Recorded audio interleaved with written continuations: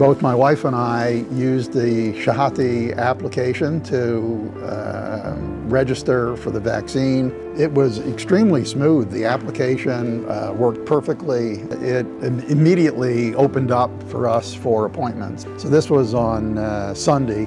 Laurie booked hers for Tuesday. Uh, I booked mine for Thursday. The instructions for how to proceed uh, were excellent. The way the kingdom has handled the coronavirus problems is, uh, is really been good compared to many other countries. For example, in Washington, some people have had to wait um, uh, you know, for a long time to get an appointment, waiting at the doctor's office to get a shot.